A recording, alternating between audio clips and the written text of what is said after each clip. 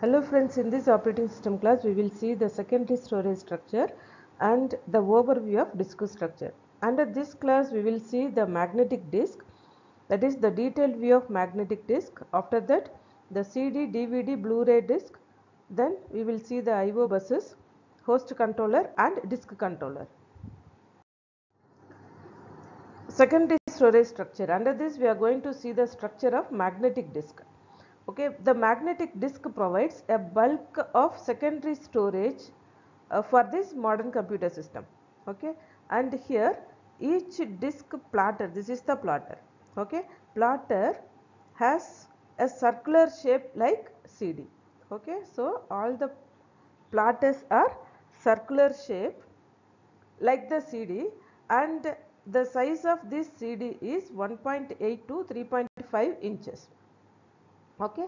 Here the two surface of platters covered a magnetic material. See both the top side and bottom side are covered by magnetic material which stores the information by recording it magnetically on the platters okay? All the informations will be stored on the surface of platter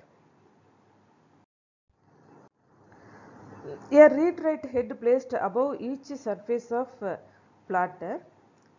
okay see this is the read write head. So uh, in a platter we can store the information on both sides. Hence two read write head will be placed for one single disk. Okay see here one read write head and here one read write head. And the read write heads are attached to disk arm. See this is the disk arm. All the head will be attached to the disk arm and that will move all around the platter right? Next the surface of platter is logically divided into circular tracks see the the circular uh, these are called as tracks okay? So how many tracks are there?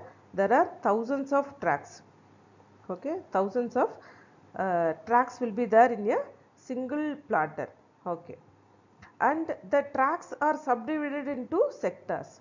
See? These are the sectors. This particular space is called as sectors.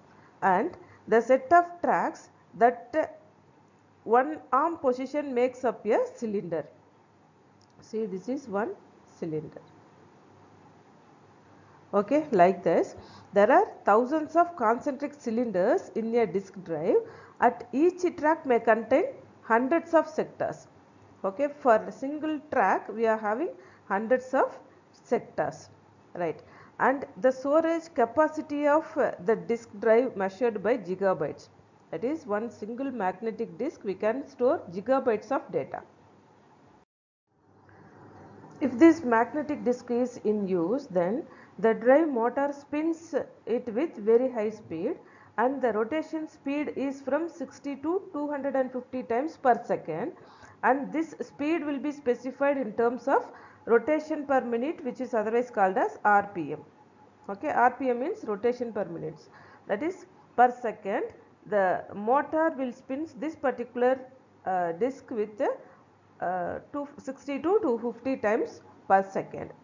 Now the disk speed has two part the first one is transfer rate that is how much data will be transferred and position time okay?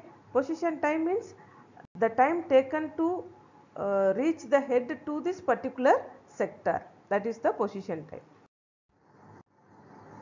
The first one is transfer rate. Transfer rate means data should be transferred from magnetic disk to computer. This is magnetic disk this is computer. Here main memory and cpu are there. Okay? That means the transfer rate means the data transferred from magnetic disk to computer uh, per unit time. Per unit time how much data will be transferred between magnetic tape to computer is called as transfer rate. And second one is positioning time or random access time which consists of again two part. The first one is seek time and second one is rotational latency. Okay, first let us see what is seek time. Seek time is nothing but the time taken to move the disk arm to desired cylinder.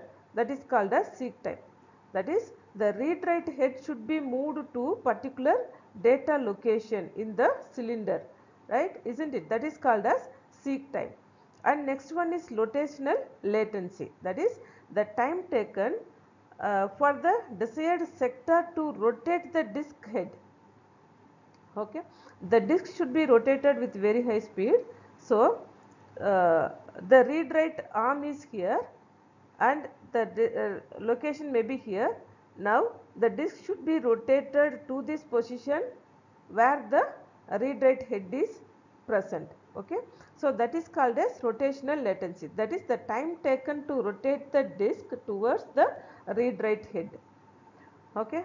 Here the typical disk can transfer several megabytes of data per second and they have the seek time and rotational latency in terms of milliseconds. That won't take that much time. Okay?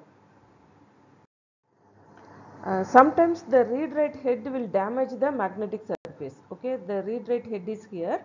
This may be uh, affect this magnetic surface and this is called as head crash. Okay once the head got crashed then we have to remove this particular platter this particular disc. Okay hence this uh, should be the removable disc. If it is uh, required then we can easily replace with the different disc. Okay and the new disc will be covered with plastic case. Okay that should be prevent the uh, prevent from damage while it is not in the disk drive. Suppose if we want to replace this particular disk uh, with new disk means that new disk will be covered with a plastic case to prevent the uh, damage. The CDs, DVDs and Blu-ray disc are also removable disc and the removable flash memory devices uh, which are known as flash drives and these are called as solid state drives. IO buses. The buses are used to, to connect the computers with the disk that is disk will be connected to computer with main memory or CPU through only the IO buses. So, all the data will be transferred be between these two devices only through these buses. Okay, a disk drive attached to the computer by a set of wires. Buses are nothing but wires which are called as IO buses. And in our computer system we are having several kinds of buses. The first one is ATA. ATA is nothing but advanced technology attachment and second one is SATA that is serial ATA that is advanced technology attachment and next one is the very popular USB that is universal serial bus and the last one is fiber channel that is FC. Okay. Uh, these are some of the buses which are used in our computer system to transfer the data.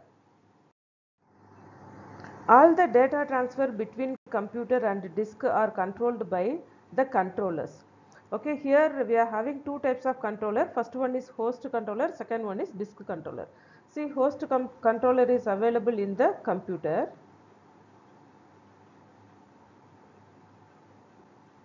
host controller and disk controller is available in the disk side.